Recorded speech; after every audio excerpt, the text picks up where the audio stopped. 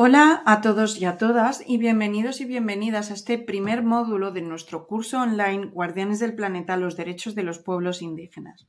El objetivo de este primer módulo es realizar una introducción acerca de quiénes son estos pueblos indígenas y cómo y dónde viven actualmente.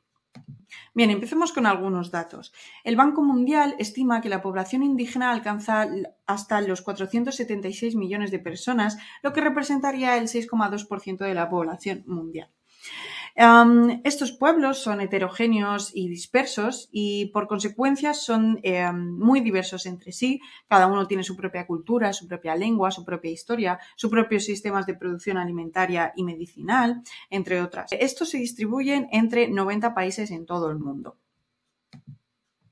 A pesar de, esto, a pesar de la distinción entre estos pueblos, podemos identificar ciertos rasgos comunes. El primero es un idioma único y propio, diferenciado de los idiomas oficiales o mayoritarios del país y de la región.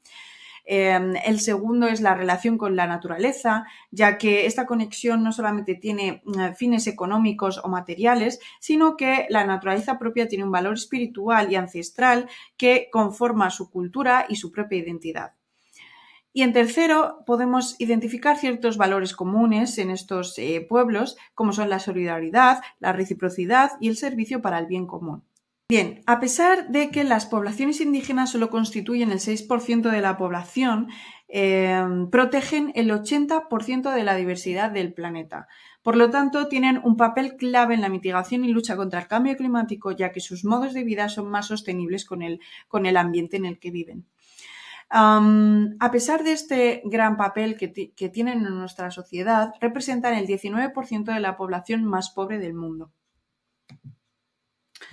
Bien, ¿cómo se pueden definir estos pueblos? Debemos partir de que no existe una definición generalmente aceptada de lo que se entiende por pueblos indígenas, ya que su identidad es algo que ha ido cambiando a lo largo de eh, los años, igual que cualquier sociedad. Por lo tanto, no cabe entender su identidad como algo inflexible o estancado en el tiempo. Aún así, hay ciertas definiciones que podemos tomar de referencia, como son eh, la dada por J.R. Martínez Cobo en su estudio del problema de la discriminación contra las poblaciones indígenas de 1987 o eh, las que aparecen en los convenios 107 y 169 de la Organización Internacional del Trabajo. De estas definiciones podemos extraer ciertos elementos básicos o rasgos comunes eh, a los pueblos indígenas. En primer lugar, tenemos la continuidad histórica. ¿Qué significa que estas sociedades son anteriores a la conquista o a la colonización. Después tenemos la conexión territorial, que significa que sus ancestros habitaban el país o la región y que, y que tienen instituciones políticas, culturales, económicas y sociales propias y distintas de, em, eh, de la región en la que vivan.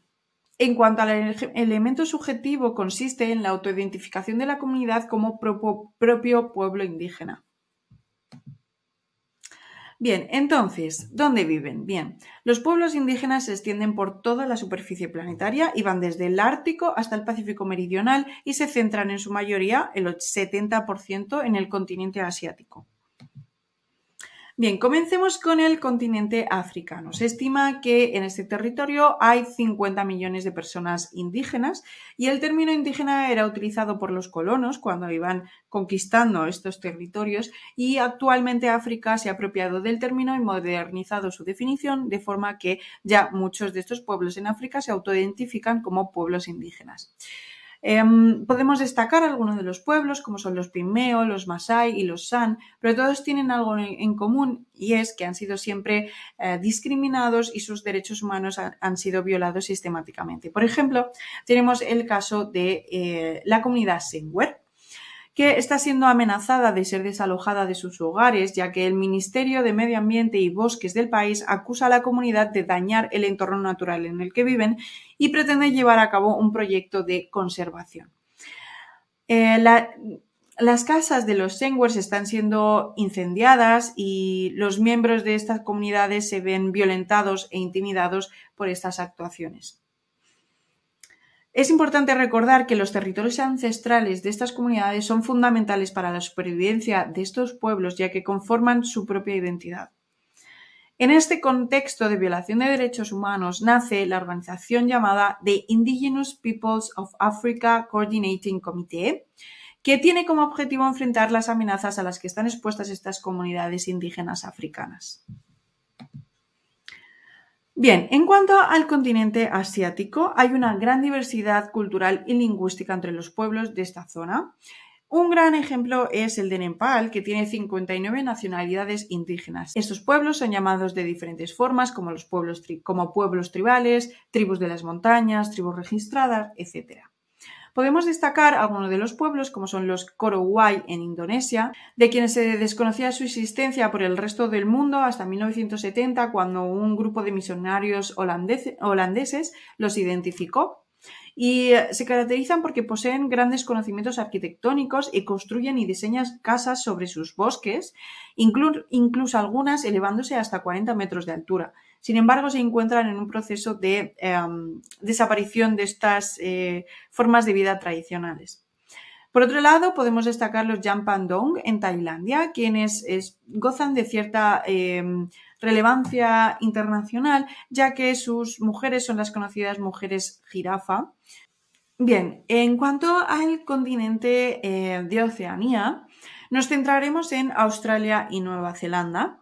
Las tribus mm, australianas en concreto se cree que son de las más antiguas y se remontan a 65.000 años atrás. Actualmente hay 400 tribus nativas y cada una de ellas mantiene su identidad, sus tradiciones y su cultura. Por ejemplo, podemos destacar la tribu de los Arunta, quienes se caracterizan por la gran cantidad de dialectos que hablan en su interior y por su estilo de vida de cazadores-recolectores. Y algunas de sus particularidades son eh, la práctica de la monogamia y la normalización y extendimiento de la homosexualidad. Por otro lado, tenemos los Kori, Em, quienes son especialmente relevantes porque cuentan con una emisora propia que la utilizan para comunicarse con aquellos habitantes de la comunidad que viven en Sydney. Bien, todos estos pueblos se caracterizan por tener creencias espirituales y una fuerte conexión con la naturaleza. Em, en concreto, no tienen la típica visión occidentalista sobre la muerte y, sobre conocer lo que hay detrás de ella, sino que ellos se centran en lo que había antes, en lo que ellos denominan el tiempo del sueño. Estos creen que durante ese tiempo fue cuando se formó el territorio que ahora habitan y disfrutan y que fue creado por unos seres totémicos espirituales ancestrales que habitaban en el tiempo del sueño. En cuanto a Nueva Zelanda, el pueblo maorí representa el 16,5% de los habitantes de la isla y las mujeres tienen un papel fundamental, ya que, por ejemplo, han contribuido a la creación de escuelas eh, primarias, a la revitalización de la lengua maorí y a la conservación de sus tierras. Este pueblo ha conseguido eh, grandes logros. Por ejemplo, en 1987 la lengua maorí se convirtió en lengua oficial en Nueva Zelanda y han conseguido que ciertos escaños en el Parlamento sean reservados para miembros de la comunidad maorí. Bien, ahora hablemos del continente americano hay una gran variedad de comunidades indígenas a lo largo y ancho de su territorio. Por ejemplo, en Canadá eh, se reconocen a los amerindios, a los inuit y a los métis. En concreto, los inuit se extienden por 53 comunidades repartidas por Canadá. Y actualmente la vida de los inuit ha mm, cambiado mucho por eh, un mayor contacto con estas comunidades del sur. Em, y, por ejemplo, actualmente ahora forman cooperativas para vender eh, artesanía propia eh, o, sus pescados. O, por ejemplo, crean empresas turísticas. En cuanto a Estados Unidos, em, se estima que entre 4 y 7 millones de indígenas viven en este territorio y California es el estado con mayor población indígena. Actualmente el Estado Federal de Estados Unidos reconoce 574 naciones indias y se estima que cerca de 229 de estos pueblos se sitúan en Alaska y las demás comunidades están repartidas entre 35 estados diferentes. En cuanto a América Latina, los pueblos indígenas representan el 8% de la población total, pero también constituyen el 14% de la población más, más pobre y el 17% de los extremadamente pobres. Se carece de información concreta en algunas zonas del Caribe, pero se estima que hay alrededor de 42 millones de indígenas en toda América Latina. Bien, en cuanto a Europa, El pueblo más reconocido es el pueblo Sami, con una población cercana a, los a las 80.000 personas, divididas entre las naciones de Finlandia, Noruega, Rusia y Suecia, en lo que antes se conocía como el área Sampi. Una parte importante de su cultura son los renos, que son criados para producir alimento o para producir productos de cuero. Y durante el siglo XVIII el pueblo Sampi fue discriminado y oprimido por el gobierno noruego y muchos de ellos em, sufrieron la supresión de su idioma y cultura. Ahora se enfrentan a nuevos problemas, como por ejemplo ciertas regulaciones europeas y el colonialismo verde, que amenaza su forma de vida sostenible. Bien, en cuanto a cómo viven hoy en día, hay que eh, recordar que tienen ciertas amenazas comunes, como por ejemplo son el destierro de sus tierras ancestrales y sagradas, la incapacidad y espacio para expresar sus culturas y amenazas, y sufren de agresiones físicas siendo tratados como ciudadanos de segunda. Por todo ello y porque constituyen el 19% de la población extrema en el mundo, tienen una vida 20 años menor que la de un ciudadano no indígena. Como anteriormente dije, protegen el 80% de la biodiversidad mundial y tienen conocimientos ancestrales valiosos sobre el clima y el terreno y son especialmente vulnerables a los efectos del cambio climático y los desastres naturales. Por ejemplo, la COVID-19 se sufrió aún más en estas poblaciones indígenas. En cuanto a las mujeres y niñas indígenas, son los más afectados por esta discriminación y, por ejemplo, las mujeres eh, tienen mayor tasa de mortalidad maternal y eh, los niños tienen mayores dificultades para acceder a la educación.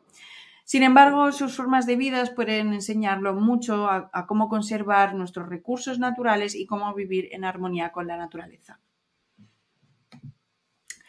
Y eh, bien, esto ha sido todo por hoy. Espero que les haya gustado este módulo y hayan aprendido sobre quiénes son los pueblos indígenas y cómo viven actualmente.